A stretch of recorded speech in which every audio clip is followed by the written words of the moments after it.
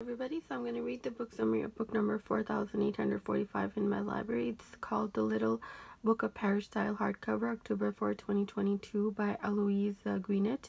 To explore the uh, book you have to click on this link here. This is the cover page of it. We're just going to read the summary of the book. Uh, whoever does not visit paris regularly will never really be elegant.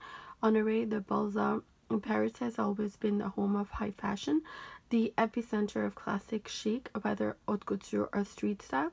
Designers and fashion lovers travel from across the world to breathe in the understated uh, and essential style of the Parisian streets, from the iconic luxury of Chanel, Dior, and Saint Laurent to the effortless sophistication of the typical Parisian, the city's look is replicated the world over, following the evolution of a uniquely elegant capital, describing both the moments of ingenuity and in enduring looks and icons that embody the city of light. This beautifully illustrated book is not only the perfect guide to embracing Parisian fashion, but to embracing the Parisian spirit itself. So enjoy this book and subscribe.